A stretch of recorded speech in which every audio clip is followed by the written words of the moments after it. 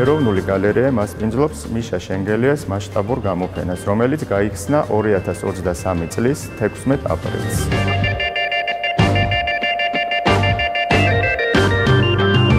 ეს არის მიშა შენგელიას პირველი მასშტაბური გამოფენა ეროვნულ გალერეაში. აქ წარმოდგენილი ნამუშევრები მოიცავს მიშა შენგელიას შემოქმედების 30 წლიან პერიოდს 1999 წლიდან 2019-მდე. ყველა ნამუშევარი, რომლის დათვალიერება შეგიძლიათ ამ გამოფენაზე, ჩემი კოლექციიდანაა. ნიშა მენდობოდა რაღაცნაირად და მიზიარებდა თითქმის ყველა ახალ ნამუშევარს მიგზავნიდა. მე ერთად განვიხილავდით, რაღაცებს მეკითხებოდა, მე ძალიან სიამოვნებდა. მოხდა ისე, რომ რამოდენიმე ნამუშევარზე შეიძლება ითქვას, რომ ერთად ვიმუშავოთ. ჩემი მხრივ ვთქვი, რომ მიმეწოდებინა იდეები. ზოგჯერ აი რაღაცას საინტერესოს ნახავდი ინტერნეტში და გუგზავნიდი. ის ხან იყენებდა ამ იდეებს, ხან არ იყენებდა, მაგრამ აი ამ გამოფენას რაც შეეხება ორი ესეთი საინტერესო მასშტაბური ნამუშევარია, სადაც ჩვენ შეიძლება ითქვას, რომ ვითანამშრომლებთ. ერთი არის პროლეტარიატის დიქტატურის სკოლა და მეორე არის მასმედიის ერთი დღე.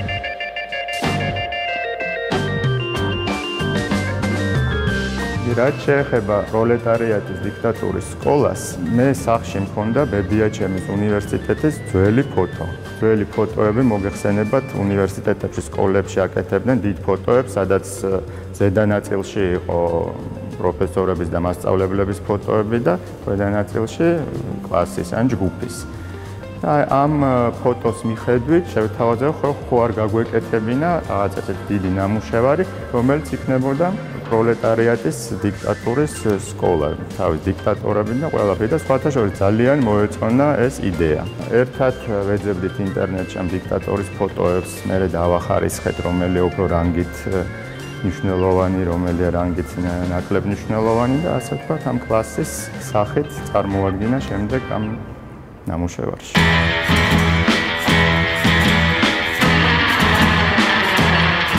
ნიშა შენგელია უკვე 90-იანებში ჩნდება ქართულ არტ სცენაზე და პრინციპში შეგვიძლია ეს განვიხილოთ როგორც აი ამ პერიოდის ქართული ავანგარდის ერთ-ერთი ბოლო მონაწილე. მის წინ უკვე არსებობს დაახლოებით 10 წლიანი ავანგარდული გამოცდილება, რომელშიც თავისებურად ის ჩდება. მიუხედავად ამისა, ისიც შეგვიძლია ვთქვათ, რომ პრინციპში ყველაზე განსხვავებულია აი ამ თაობისგან და ისეთ ნარატივებს ავითარებს, რომლებიცაც დანარჩენები თქვათ უბრალოდ ესე ლაკონურად ეხებიან. ამ პერიოდში ერთი დამახასიათებელი რაც არის ეს არის პოსტმოდერნისტული და რომელიც ძალიან საინტერესოა, შემოდის არა ინსტიტუციის გზით, არამედ უშუალოდ მედიის გზით, ხო? აი გამოსახულების გზით, ხმოვანი გზით, ან ტელევიზორით, გაზეთით, თქვათ, ციგნებით და პუბლიკაციით.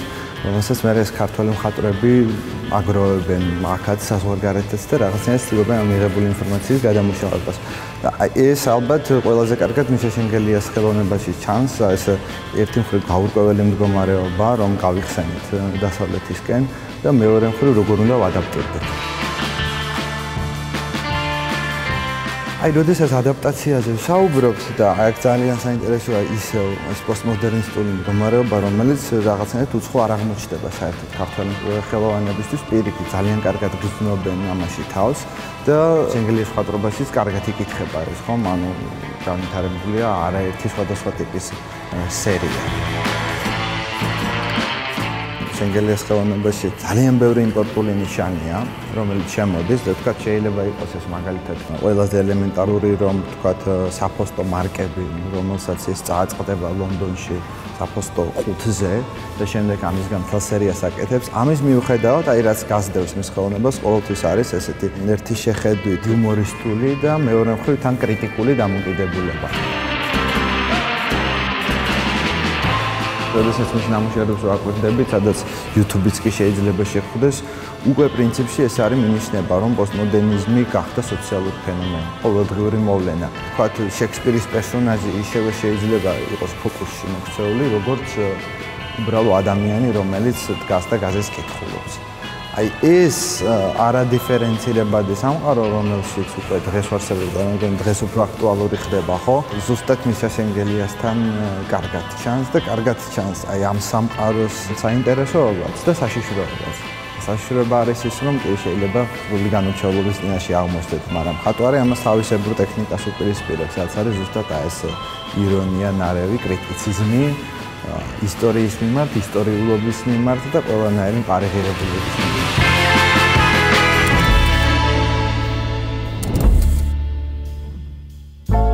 წარმატებით დაამთავრა საშუალო სკოლა. სკოლაშივე დაეუფლა სრულყოფილად ინგლისურ და რუსულ ენებს, რაც მას საშუალებას აძლევდა გარდა ქართულში გამოქვეყნებული ლიტერატურისა გაცნობა და უცხოურს. მიშა იყო მოყვარული მხატვარი. არ გაუვლია მას არც ერთი სასწავლო უწყებაში სამხატვრო რომ მიიღო ცოდნა. ის რატომ გახდა გეოლოგი? ძალიან ხშირად მოგზაურობდა საქართველოს თავის მამუასთან, პაპასთან, ნიკო კოცხოლებთან ერთად.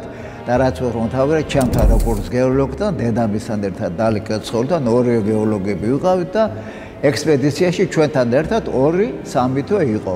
წარმატებით დაამთავრა უნივერსიტეტი, ასპირანტურა და 27 წლისამ უკვე დაიცვა საკანდიდატო დისერტაცია. წარმატებული მეცნიერება, მაგრამ ხატრობა თუ მეცნიერება, მიშამ გადაწყვეტა ორივეს ერთად ვერ შეძლებოდა დისერტაციის დაცვის შემდეგ სრულიად შეწყვეტა მეცნიერული მოღვაწეობა. დაიწყო ხატრობა. რუსთაველს იდგა თავის ნახატებს იხილდა და შემდეგ ძალიან მოეწონა მის ნახატები ხატრობის დიდ მეცენას არჩილ დარჩიას. იყიდა მის ნახატები, მოუწყო გამოფენა, აქ ჩამოვიდნენ შოტლანდელი ხატრები, მოეწონა და ძალიან მიშას შემოქმედება და დაპატიჟეს გლაზგოში. მოუწყვეს გამოფენა. შემდეგ გამოფენა მოუწყვეს ირლანდიაში, უელში და ძალიან დიდი გამოფენა ლონდონში. ეხლა არ შეიძლება მე არ აღნიშნო. დიდი მადლობა გადაუხადო დავით მუშკუდიანს. რატომ? დავით მუშკუდიანის კოლექციაში არის 100 სურათი. 100 სურათი საერთოდ საქართველოს იმის ნახევარიც კი არ ენახება სამწუხაროდ. ეს დაიკარგებოდა ასე ვთქვათ მიშას, ეს შემორჩება და ეს ძალიან დიდი საქმე გააკეთა. საინტერესო არის მიშას და დათოს კოლაბორაცია. დათო არ არის მხოლოდ უბრალოდ მისი ასე ვთქვათ ფანი, რომელიც მხოლოდ აგროვებდა ამ ნამუშევრებს. დათო და მიშა ერთად მუშაობდნენ. ეს იყო ასეთი სახის კოლაბორაცია. ისინი ეთებოდნენ რაღაცა იდეით, ეს ყველაფერი იწყებოდა რაღაცა იუმორიდან, გადაიზრდებოდა რაღაცა სერიოზულ თემაში და მე აი ამ სერიოზული თემიდან გაჩნდებოდა ნამუშევარი. ეს არის დასავლელი მხატვარი. და როგორც მოვლენა, მიშა არის ქართული კულტურის მონაპოვარი, იმიტომ რომ მან შექმნა უნივერსალური სამყაროს სურათი და სწორედ ამიტომ არის მიშა საინტერესო. მე ვფიქრობ, რომ მიშა არ არის გაგებული და საკმაოდ დრო ჭირდება. მიშა არის ძალიან მრავალფეროვანი. ყოველს ყავს თავისი მიშა. ესეთი უნივერსალური იყო ამ კუთხითაც, ხო? მე მიყვარდა ის მიშა, სადაც ის ექსპერიმენტებს აკეთებდა ფაქტურასთან. აი ეს იყო ჩემთვის ძალიან საინტერესო. მიშა კონცეპტუალისტი არტისტი. ჩემი სიყვარული მიშას მიმართ დაიწყო სწორედ მისი აბსტრაქციიდან. ასევე მიყვარს მიშას ეს ირონიული ნამუშევრები ირონიული რეპლიკები სადაც ხდება ინტერპრეტირება ძირითადად რენესანსის როგორც იტალიური ასევე ნიდერლანდური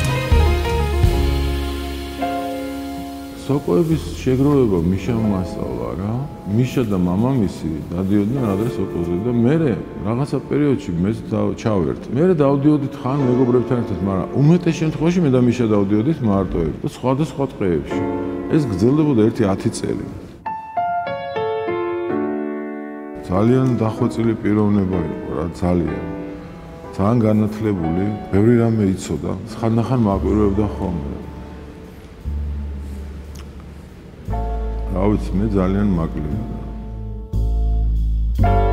და ასე მიშას ხატრობა კიდე სხვა რამე არის საერთოდ ხო? რაღაც სხვა რაღაცა სხვა კონტექსტი აქვს რომელიც რაღაცა იუმორნარავიც არის სევდაც არის ოღონდ ძალიან კაი ღმაფერწერაც არის და ძალიან დიდი ფანტაზია ქონდა თან რა ეფს იგონებდა ხო ნახე. რაღაც თელი კომპოზიციები როგორ აქვს შექმნილი რა აპრატ შეეძლო წარმოგეჩინა რაღაცა